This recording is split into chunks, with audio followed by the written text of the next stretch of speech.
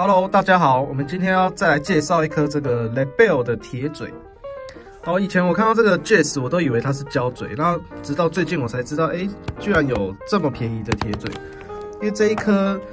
的价位啊，应该也比一某一些这个台湾做的吹嘴还要便宜，是对，真的蛮便宜的。所以我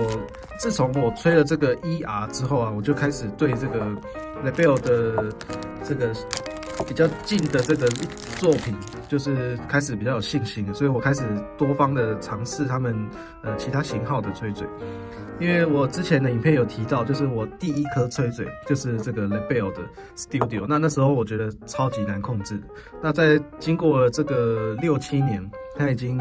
就是慢慢进步到我觉得它的吹嘴真的非常好吹，那音色也是非常特别。好，首先它的这个吹嘴跟其他大品牌，呃，不最不一样的地方就是它使用的是这个裸铜的表面处理，所以吹久了会像这颗一样，它会有这个氧化的现象。对，好，那再来这一颗，它是做这个低反射板，只是它在这个部分它有一个做一个蛮蛮特别的坡度的设计。对，那像我的 ER 就是这颗是算比较亮的，所以它这里有一个很高的反射板，那这边是直接。下去的，那它一样在中间有挖一个这个子弹型的内腔。好，那它这个内腔也是一样是非常大的。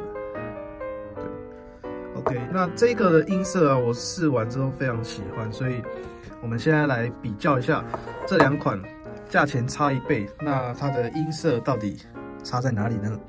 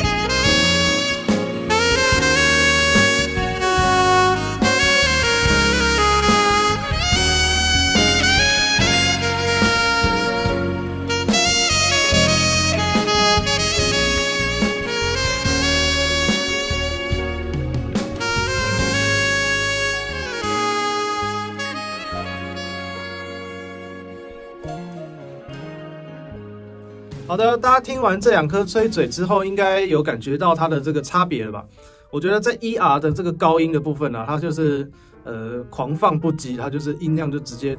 就冲出去。然后 Jazz 这一颗在高音的时候，如果你是觉得就是你的高音很尖锐，你觉得不好听的话，我觉得这一颗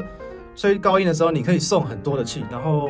它完全不会让你感受到就是你的音要炸掉或者是很尖锐的声音，它反而在高音的时候也会有给你很浑厚的这个高音。那 Jazz 这一颗啊，我使用的是八号，那与我这个七号半的 ER 比起来，其实它们的阻力不会差太多，所以在选购这个。Lebel 的时候，其实不用太担心说会吹不动，因为其实新这些新款的设计啊，都已经比早期的还要好很多，都已经非常好吹了。那